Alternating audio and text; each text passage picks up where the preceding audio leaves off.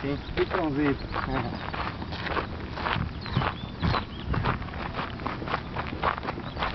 Now you can speak Portuguese a lot. Now we can, why? Yes.